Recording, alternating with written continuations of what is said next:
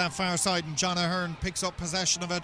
Tight towards that far sideline. John Ahern that looks to be good. The umpire reaches for the one to get that first score of the game. The breeze uh, really against him now. The rain is becoming heavier as well here in Páirc Uí Chaoimh this afternoon. Possession of it and plays it off on this near side of the field but it's cut out there and going forward. This one now is Mark Walsh. Walsh on towards the 21 straight on this near side of the field. Liam Kelleher tried to win possession of it taken away from him and the effort comes in here and that's gone in from Shane Hegarty. Inside Mark Walsh out in front of his man up against him Shane Rowan the referee plays the advantage as Mark Walsh strikes that one in and sends it there as well, so he probably doesn't have too much more in terms of fouls to give. Hmm. Puck out one there, and the opportunity comes in and sent over the cross. Mark Walsh on the 21 yard line at an angle to the post. Looks up, confidence is high. Oh, why wouldn't it be? Super score from Mark Verling out in front, wins possession of it, gives the hand pass towards Owen Moynihan, who comes on with this one, gets the effort in. Well, it's a bit like the bus game that we're all looking forward to as Mark Verling out in front wins possession of this one,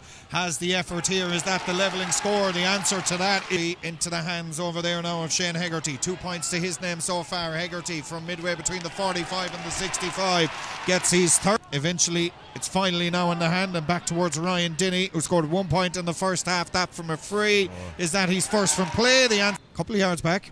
Six goal chances up to know if we include that one there for Shane, so surely we're due a goal. Here we go. Ryan Dinny. Here he comes, strikes it. In. Mark Verling switches it towards that far side of the field. That's well gathered over there by Aidan Murphy. Murphy striking this one in. That's his first one way and back the other. Now plays this one back. Here's the opportunity coming in from a long way out. They could do with a score and they've gotten a score. Mahern has possession of it. Tied towards the sideline under pressure. Cormac O'Driscoll launching this one from a long way out. That's how you score the And Jack Leahy.